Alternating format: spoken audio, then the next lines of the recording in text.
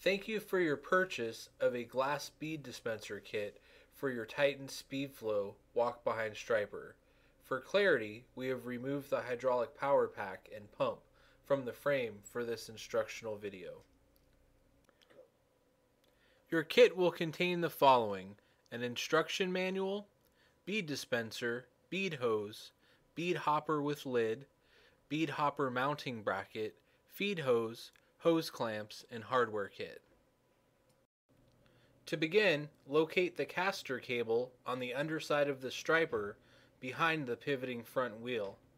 Using a half inch wrench, loosen the tensioning nut and remove the caster cable from its mounted location so that it hangs slack. Locate the four factory installed hopper mounting holes. Older models may have larger holes or may require holes to be drilled. We have supplied additional hardware to accommodate these earlier models. Slide the lower mounting bracket under the striper frame but over the top of the caster cable. Position the mounting bracket so that it straddles the outside of the frame of the striper and lines up with the factory installed mounting holes on each side of the frame. Secure the lower mounting bracket to the striper frame using the provided bolts, washers, and lock washers, and tighten using a closed end wrench.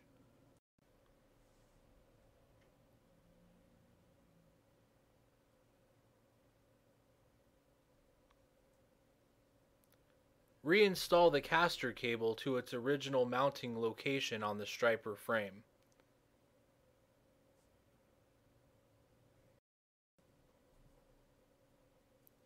Slide the bead hopper tube into the bracket receiver and secure in place at the base of the mounting bracket, ensuring that the hopper output tubes point toward the striping guns. Using the provided bolt, Thread the bolt into the base receiver and tighten with a wrench.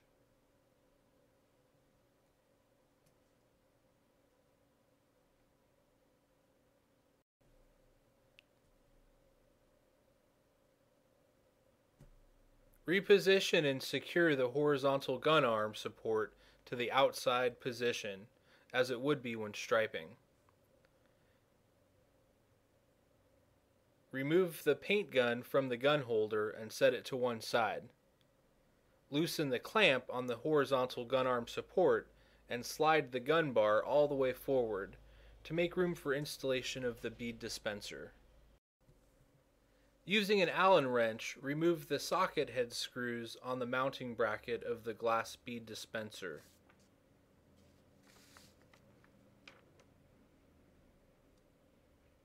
Position the glass bead dispenser on the support arm approximately 6 inches behind the striping gun and snug the socket head screw a few turns to hold the bead dispenser in place. At this point, the bead dispenser should be able to slide up and down the support arm with ease.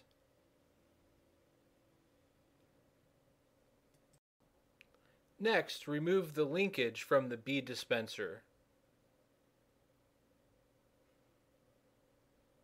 At the opposite end of the actuating rod, remove the nut from the threaded ball stud end. Install the threaded ball joint through the factory provided hole in the gun actuator plate. Thread nut onto ball stud on the back side of the actuating plate and tighten using an open end wrench on the ball stud hex and a closed end wrench on the nut.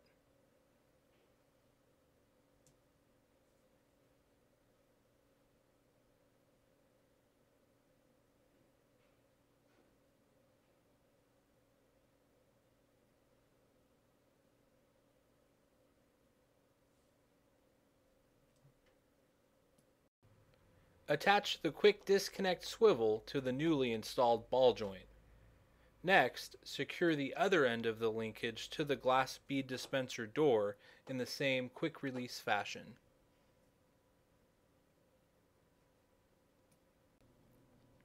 Install the striping gun into the gun holder and ensure that the bead dispenser door is in the closed position. Secure the glass bead dispenser mounting bracket to the support arm by tightening the shaft collar onto the gun arm.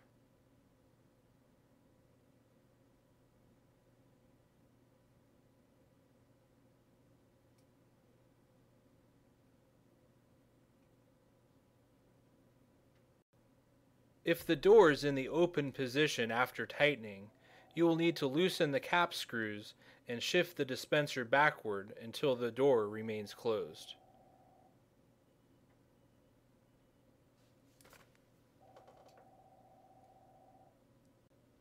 Attach hoses from the bead dispenser hopper to the glass bead dispenser. The hose should be routed progressively downward so that the beads may gravity flow to the dispenser. Trim hose length if necessary. Once the bead hose has been measured and trimmed, secure the hose to the glass bead dispenser with the provided hose clamps using a flathead screwdriver.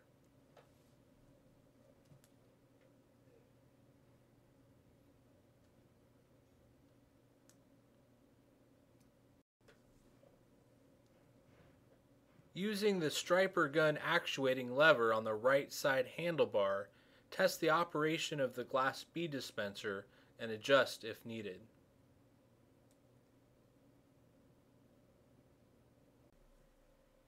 Adjusting the glass bead width and flow.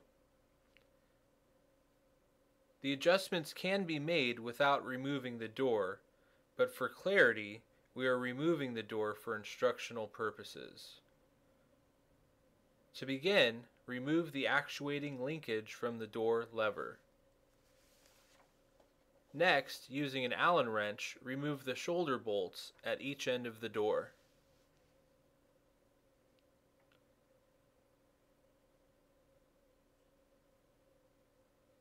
When removing the door, be sure to secure the door spring as it may fall away. Next, using a Phillips head screwdriver, loosen the machine screws that secure the adjustment plates. The inside plate adjusts the width of the line from 6 inches to 4 inches. The outside plate adjusts the amount of beads that flow. The bead dispenser is factory set for a 6 inch line and a 50% bead flow. After the adjustment is made, reposition the spring in the door, and mount the door to the mounting bracket and tighten the shoulder bolts.